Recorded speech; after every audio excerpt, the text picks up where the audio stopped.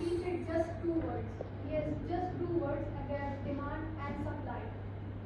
And well, well got an economist.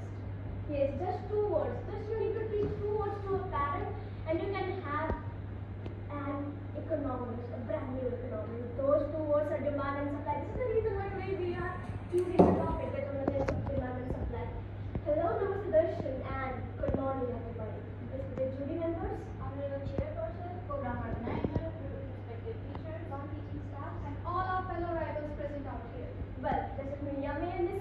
Yani PALI.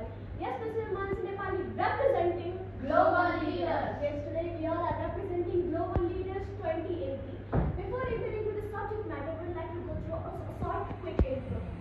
Hello everyone, this is Simon Austin, a member of Global Leaders. Thank you.